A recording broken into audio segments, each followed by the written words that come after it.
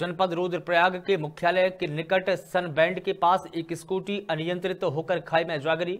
आपदा प्रबंधन अधिकारी नंदन सिंह रजवार ने घटना की जानकारी मिलते ही डीडीआरएफ टीम तुरंत मौके पर पहुँची और स्कूटी से खाई में गिरे तीन घायलों को रेस्क्यू कर हॉस्पिटल पहुँचाया है। जानकारी के अनुसार तीनों व्यक्ति कार्तिक स्वामी से रुद्रप्रयाग की ओर जा रहे थे। वहीं सनबैंड के पास स्कूटी अनियंत्रित तो होकर खाई में जा गिरी। तीनों घायलों को रेस्क्यू कर जिला चिकित्सालय भेजा गया है। रुद्रप्रयाग से सत्यपाल नेगी की रिपोर्ट।